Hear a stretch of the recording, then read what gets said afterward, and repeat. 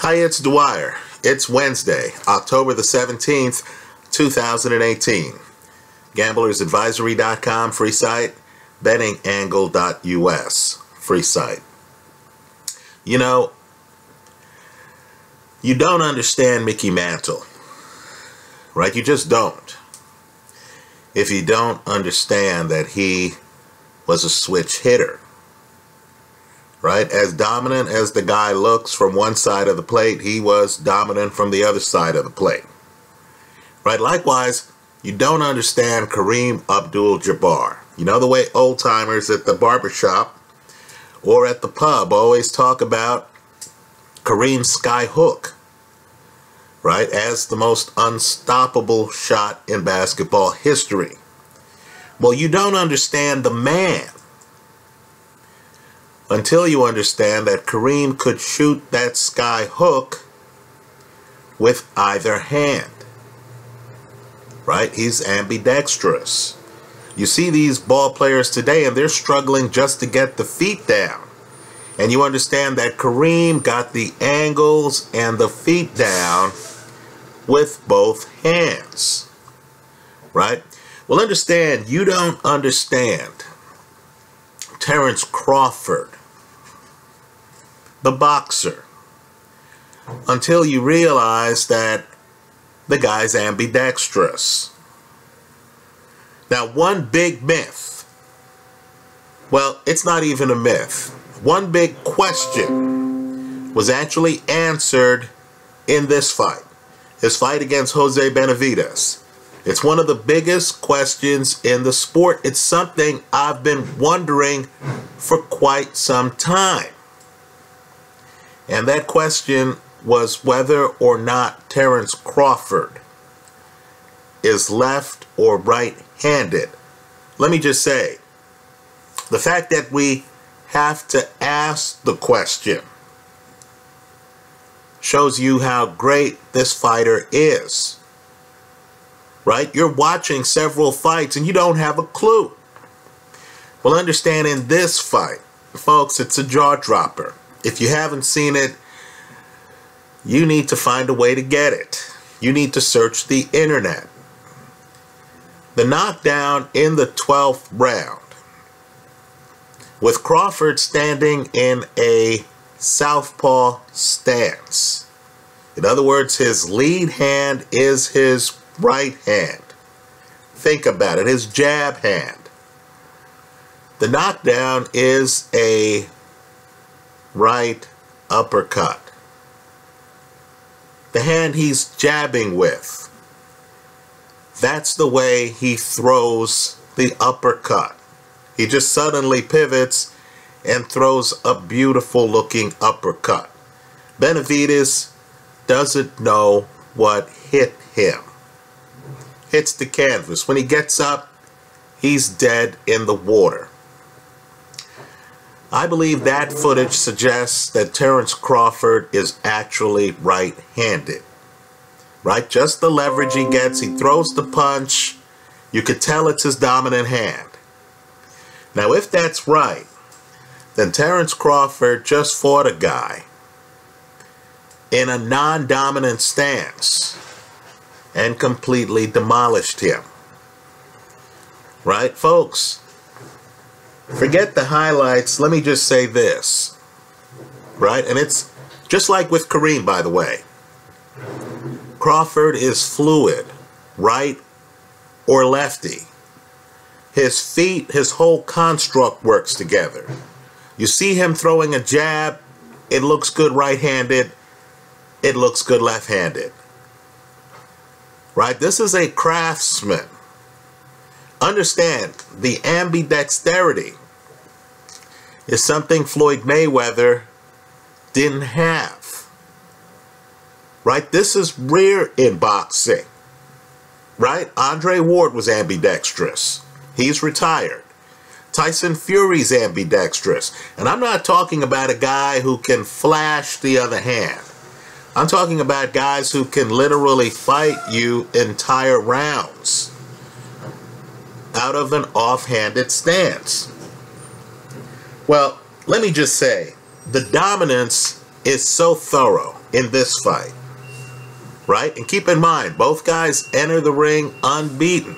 Jose Benavidez is a damn good fighter. Right? The reason I didn't make a pre-fight video is that Crawford was a huge favorite and I didn't see the profit in it. Right? Well, let me just say this. Crawford is so dominant that after the sixth round, right, think about it. And I know the guys have a lot of facial expressions and some vibes going on during the fight. But after the sixth round, there is not a single round in this fight, not a single one, where Benavidez lands 10 punches. Right? In other words, the Crawford you're seeing, and Crawford doesn't look to be moving that much. He's such a craftsman that by going southpaw against an orthodox fighter, and by playing the angles, and by being able to throw his dominant hand, a jab, uh, his right hand, in jab form effectively while moving just so much that Benavidez has to reset. Crawford literally neutralizes Benavidez's jab. How much so? In the eighth round, Benavidez throws 25 jabs. Folks, he lands none of them. Three minute round. 25 jabs. Could not find Terence Crawford once. Right? Now understand who Crawford is.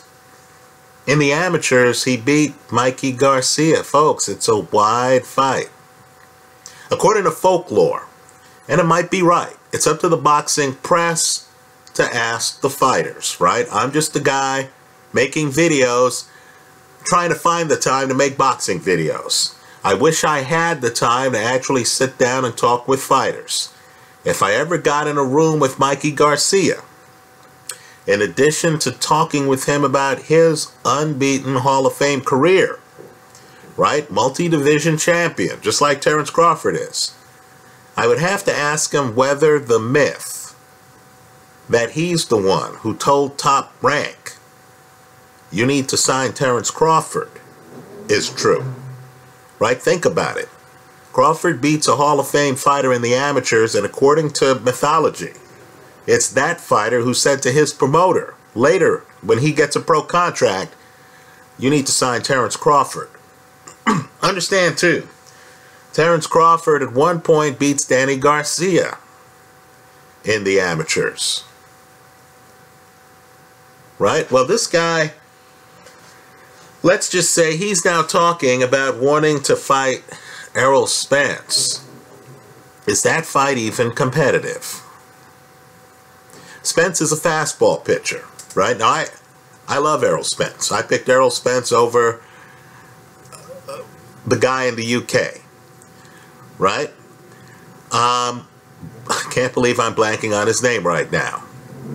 But my point to you with Errol Spence is he's a size guy. He's a fastball pitcher, right? He's a guy who you know is going to come in mid-range to short-range hooker He's going to try to lean into some shots, land some hooks on your body, wilt you deep in the pocket.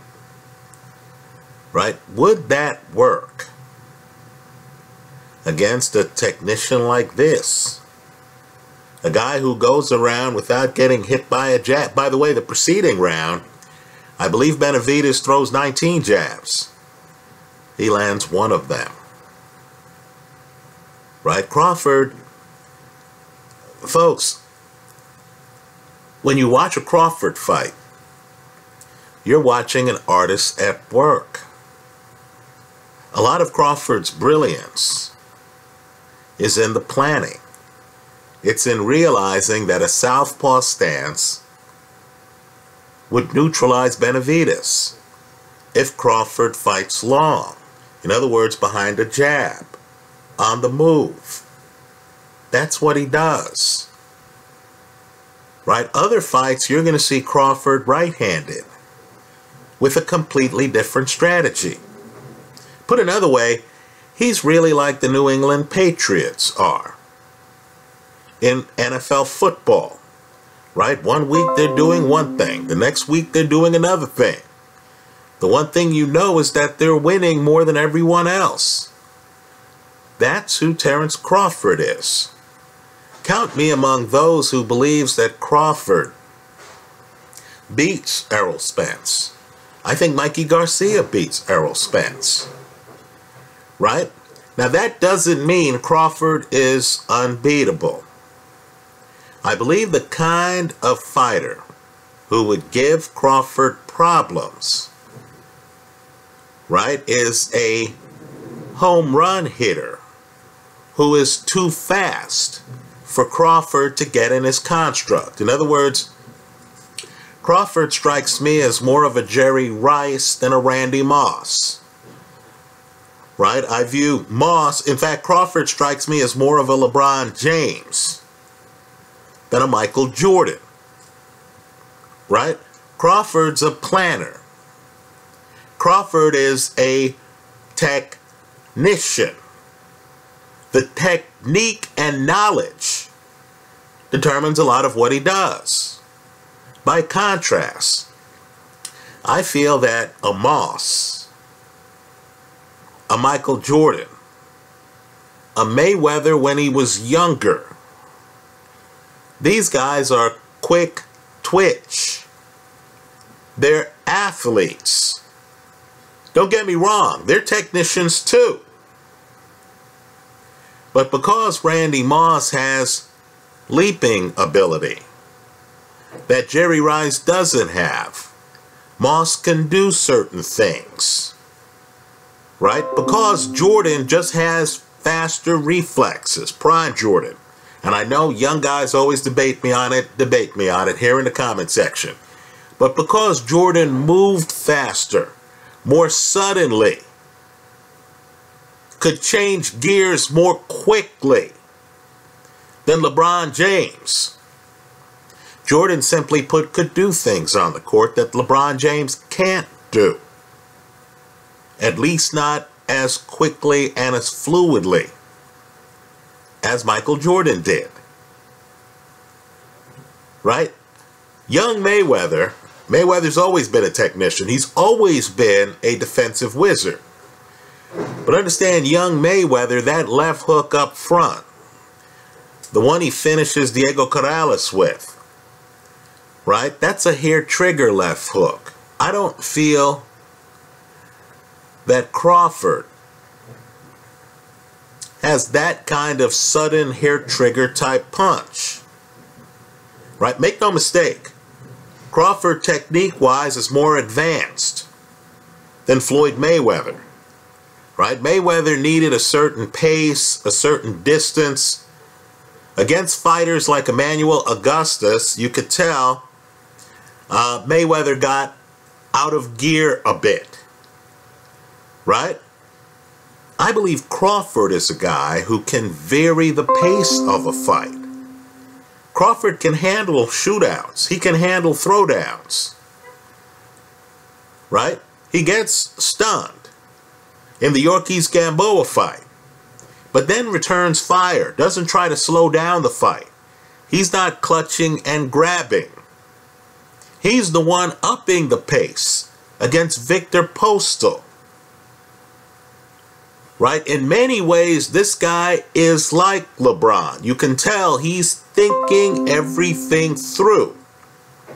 You can tell, like LeBron, he's ambidextrous, right? If LeBron has you on his shoulder blades and he has the ball, you don't know if he's going right or left.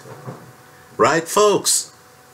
Just understand, this guy is dominant. So I believe Manny Pacquiao, who's sudden, who's quick twitch, who doesn't give you an opportunity to plan and to be ready when you're in your offhand. I think a Manny Pacquiao, and he's still active, would give Terence Crawford a tougher fight than would Errol Spence. Let me go one step further. in history.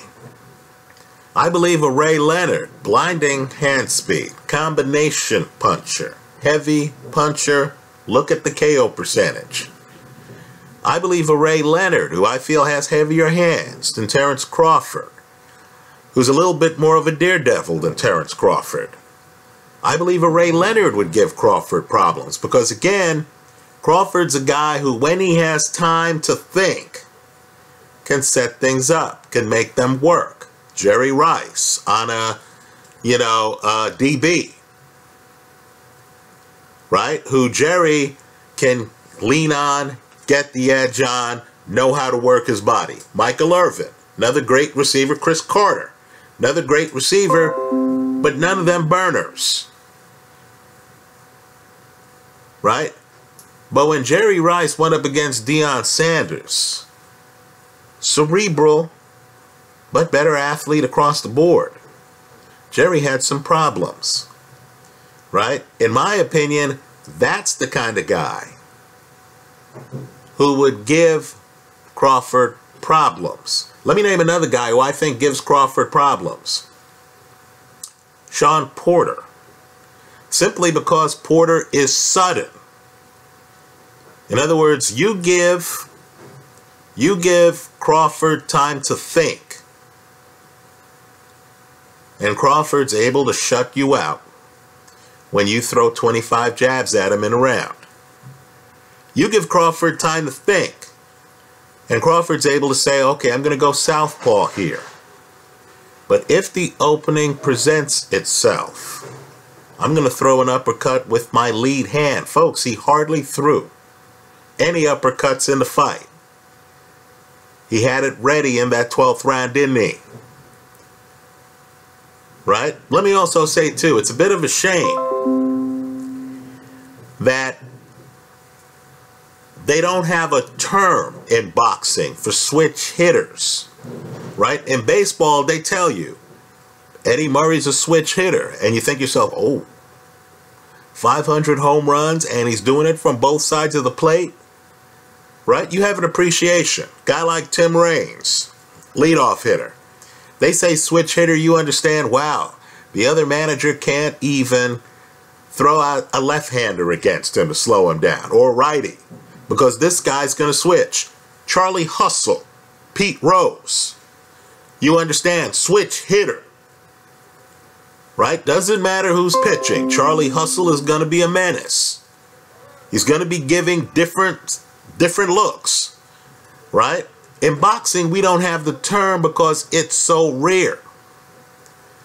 So when fight fans are looking at a fight, Tyson Fury, Kevin Johnson, and Tyson Fury's winning the fight, dominating the fight, and people are saying, oh, Fury's not really doing as well as I thought, even though Fury's fighting the fight left-handed. Folks just don't quite get it. Keep in mind, what I'm talking about is different than a righty, Marvin Hagler, fighting out of a southpaw stance. Than a guy like De La Hoya, a lefty, fighting out of an orthodox stance, living off of a lead 45, right? That lead punch was actually De La Hoya's dominant hand. And I'm talking about something completely different. I'm talking about the ability to move around the ring with your right shoulder as a lead, and then to move around the ring coordinated with your left shoulder as a lead, and having all the punches. Right? Having it all together. Mickey Mantle one year, believe it or not, won the Triple Crown with numbers good enough to have won the Triple Crown in either league. Right? Crazy and he was a switch hitter. Right? That's what we're dealing with here with Terence Crawford. Understand, at 140, Crawford wasn't the unified champion. Crawford was the undisputed champion. One guy, all the sanctioning bodies, even in this fragmented world. Now he's at 147 Compare and contrast the Manny Pacquiao Jeff Horn fight with the Crawford Jeff Horn fight. right? Well, Crawford has the chance to beat some big names, right? I believe Crawford is so gifted. I don't know why Crawford would stop at 147. I think Crawford right now can take out some of the champs at 154, right? So don't sleep on this guy. Just understand as you're watching him against Benavidez, he's not even standing he's he's not even standing in the stance of his dominant hand. This guy's on the other side of the plate. He's a righty fighting as a southpaw. And his defense is so dominant that his unbeaten opponent cannot land 10 punches in a round in the second half of the fight. Truly dominant performance. Yes, I would take Crawford over Errol Spence. I don't mean to diss Errol Spence. I know it seems like I'm taking everyone over Spence. Right? The guy Spence beat in the UK, Kell Brook, who I took Spence over, right? Understand, I have a lot of respect for Spence. A lot of respect. But I feel that Mikey Garcia, who I take over Spence, and I feel that Terence Crawford, who I take over Spence, are all-time greats. Right? Unbeaten fighters with multiple titles. Think about that. Right? Dominance in multiple weight classes. And I feel that Spence is a fastball pitcher where if you're an elite fighter, you can figure out how to hit that fastball. And then the question becomes, can Spence actually defend himself against you? And I just feel that Terence Crawford just offers too many angles for him to do so. I do, though, have to add that I would take Manny Pacquiao over Crawford. I believe even at his older age, Manny Pacquiao is faster hand speed wise than Terence Crawford. I agree. Pacquiao relies heavily on a straight left. I agree that Crawford is a technician who would be prepared for it, just like Jerry Rice was prepared for a DB. Just like LeBron James knows how he's going to play against the Golden State Warriors before the game tips off. Crawford will be prepared for it. But Manny's a guy who has great legs. Manny would be able to jump around the ring, right? And this version of Manny Pacquiao is actually proficient, much more so than when he fought El Terrible years ago, with that short right hook, right? I just think Manny is the better athlete than Terence Crawford. Anyway, that's how I see it. Let me hear from you. I hope you leave your comments in the comment section to this video. In sum, if Crawford is fighting a predictable fighter, who's a fastball pitcher, who doesn't have great legs, who he knows where the guy is going to be, the guy gives him time to think, I think Crawford's awfully dangerous. I think this guy could take this all the way up to 160. That's how I see it. Let me hear from you. I look forward to your comments. Thanks for stopping by.